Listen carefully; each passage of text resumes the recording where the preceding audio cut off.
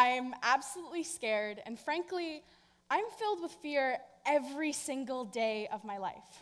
But that's okay, because I'm kind of aiming to live life outside my comfort zone. You see, I do this ridiculous thing called improv. It's acting without a script, performing without a plan. Actors will go on stage, sometimes in front of hundreds of people, with absolutely no idea of what they're going to say. And that may seem like the scariest thing in the world, especially if you're someone who's used to sitting in audience.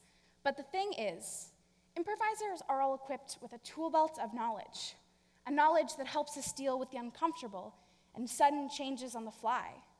We learn how to fail, how to say yes and, how to work with others, how to accept ideas, how to commit, and how to feel confident while looking like an absolute fool on stage.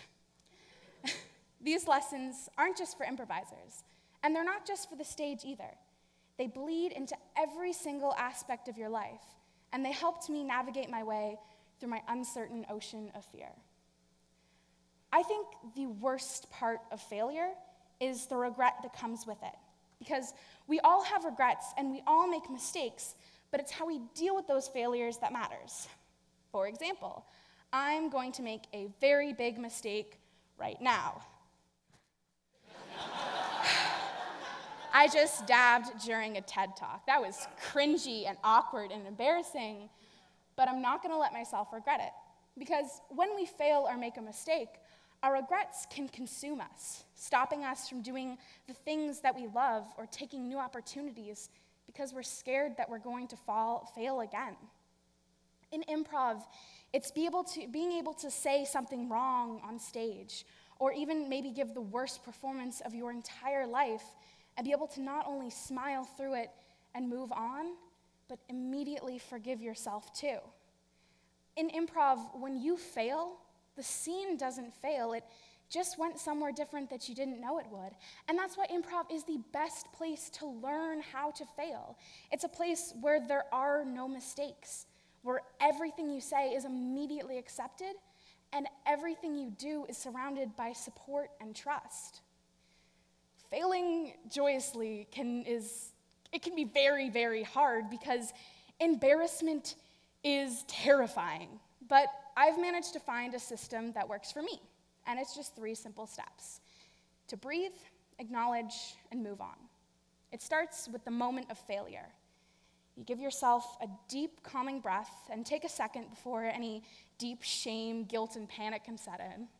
And then you acknowledge that you just messed up, that you just embarrassed yourself, that you want to go hide underneath a rock, and then you move on.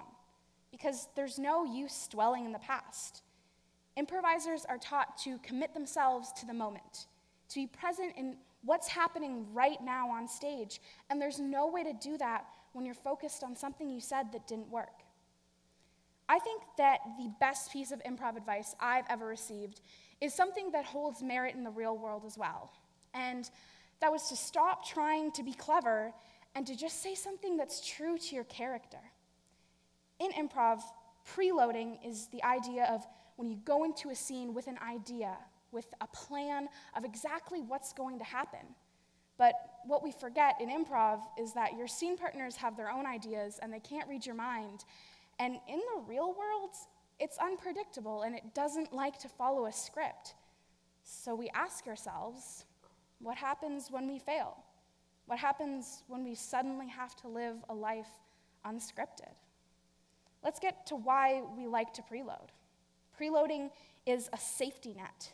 We preload so we can avoid failure when it's often what leads us to failing in the first place. I preload to impress, so people will think that I'm funny, that I'm smart, that I'm clever.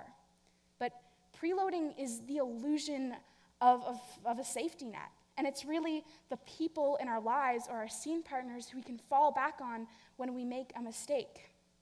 And learning how to abandon preloading is really hard because we all just want to impress other people. I mean, how many people at school are more focused on their appearances or being with the in crowd than their education? And how many people have spent like 20 minutes on an Instagram caption because it had to be perfect? Because me too. Living in the moment isn't supposed to be perfect.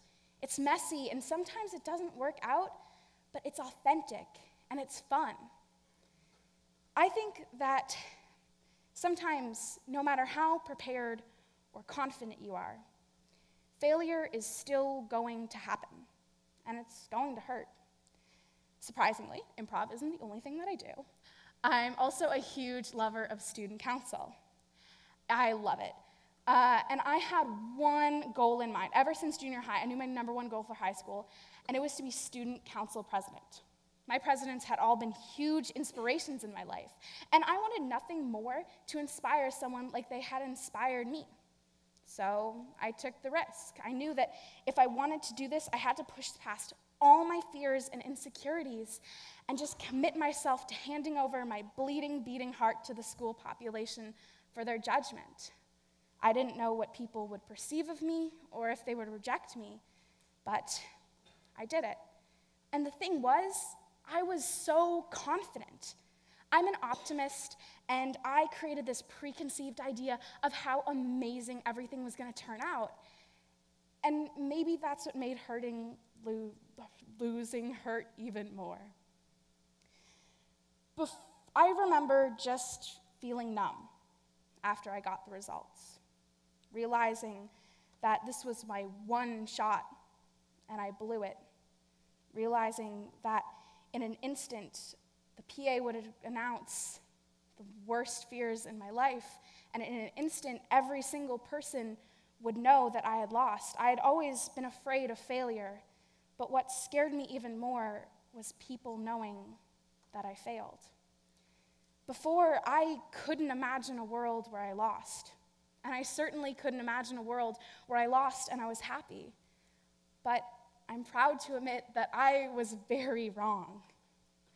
In improv, we don't have time to mourn our failures when we make a mistake. We have to immediately accept it and move on so we can create something else that's wonderful. And it's when we start abandoning our regrets that amazing things can happen. Since then, I have accomplished so many things that are really important to me. I've competed in the Canadian Improv Games national tournament three times. I've won awards, and I've done improv shows, and I've organized multiple school events, and I've even hosted a few, and I'm really happy. Remembering those lessons that through improv helped me get to that place where I'm really happy. But I'm only successful because I'm a failure, because I messed up and I kept trying. We can't, the thing is, we can't get rid of fear. We can only push through it to make the best of the situation. I'm definitely not perfect, and I never will be, and I'm gonna make so many mistakes, and I'm okay with that. In fact, I'm pumped. Failing joyously isn't about not being scared. It's about being terrified and doing it anyways. So please remember that your mistakes are not the end of the world.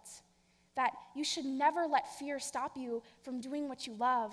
That you should greet mistakes by breathing, acknowledging, and moving on.